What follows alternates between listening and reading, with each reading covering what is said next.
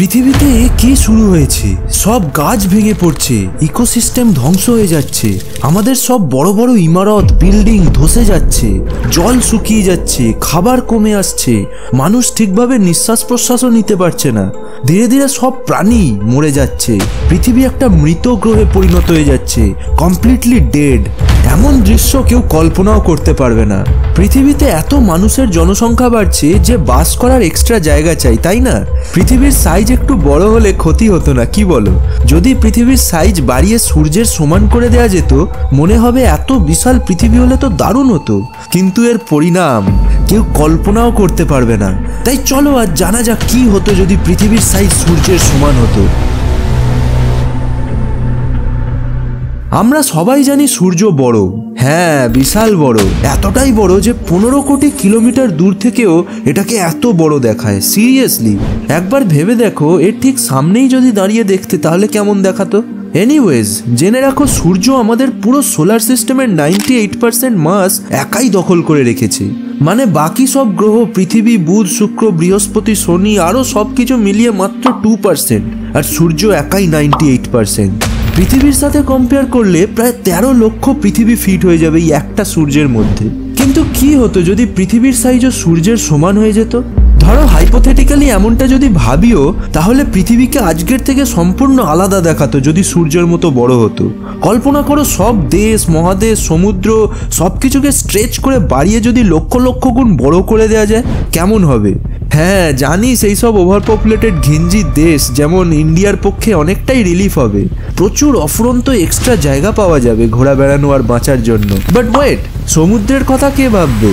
যদি পুরো গ্রহটাই স্ট্রেচ হয়ে সব বেড়ে যায়, তাহলে সমুদ্রের জলও বেশি জায়গা জুড়ে স্ট্রেচ হয়ে যাবে। আর তাই সমুদ্র একদমই অগভীর হয়ে যাবে। হাঁটু অবধিও গভীর থাকবে না জল। যার ফলে খুব সহজেই সব জল ধীরে ধীরে সূর্যের তাপে ইভ্যাপোরেট হয়ে যাবে, বাষ্প হয়ে উড়ে চলে যাবে। পুরো গ্রহটা খুব তাড়াতাড়ি শুকিয়ে ড্রাই হয়ে যাবে।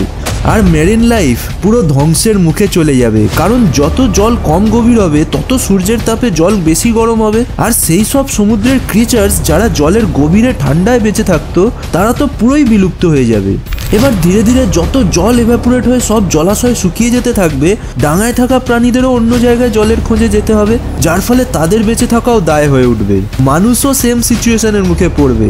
না শুধু তারা নিজেদের মধ্যে মারপিট দাঙ্গা শুরু করে দেবে জলের ঘাটতির জন্য, তার সাথেই দেখা দেবে আর এক রিস্ক সব শস্য শুকিয়ে মরে যেতে থাকবে। জল নেই তো চাষবাস হয়ে শস্য আসবে থেকে শুধু তাই নয়, গাছের চারা তো মাটির মধ্যে থেকেই প্রয়োজনীয় নিউট্রিয়েন্টস নিয়ে বেড়ে ওঠে। যদি পৃথিবী সূর্যের মতোই বড় হয়ে যায়, তাহলে সমুদ্রের জলের মতো জমিও বিশাল জায়গা জুড়ে স্ট্রেচ হয়ে বেড়ে যাবে। আর তাই পুরো পৃথিবীর সব মাটিকেও ছড়িয়ে যেতে হবে এত বড় জমিকে ঢাকার জন্য।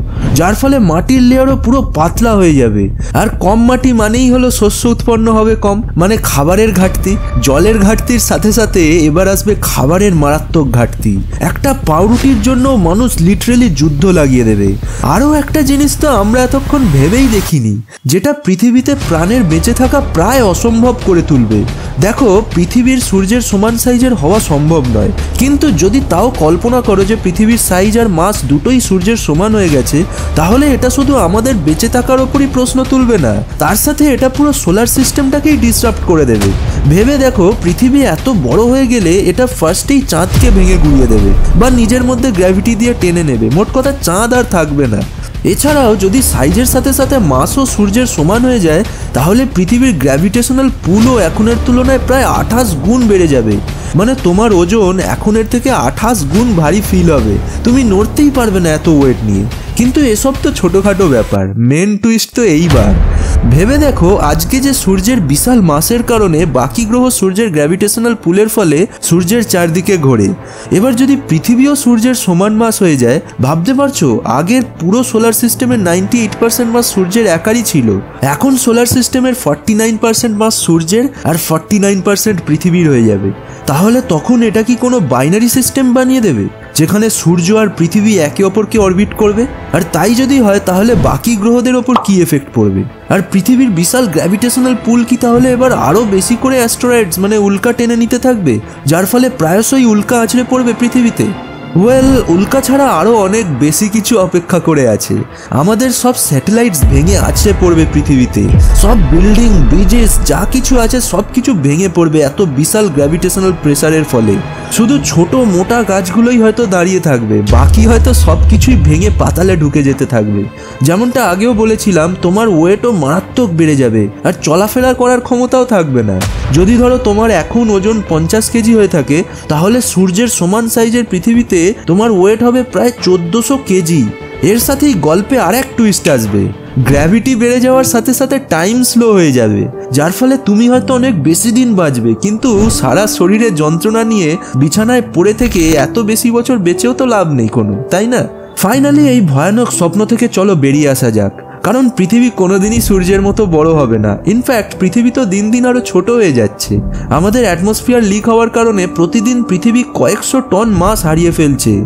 এবার একটু রিল্যাক্স হয়ে যাও। আর ভাবো, আমরা অনেক লাকি যে ছোট্ট পৃথিবীতে আছি। সবসময় সব কিছু বড় হলেই যে ভালো হবে তা নয়। কিন্তু যদি ধরো সূর্য পৃথিবীর মতো বা তার থেকেও ছোট সাইজের হতো, তাহলে কি হতো? ভাবো আর অ্যান্সার কমেন্টে জানাও। পনেরোশো লাইকস পেলে আর ঠিকঠাক কমেন্টস পেলে এই নিয়েও একটা ভিডিও বানিয়ে দেবো। চলো দেখা হচ্ছে নেক্সট ভিডিওতে টিল দেন গাইস বা বাই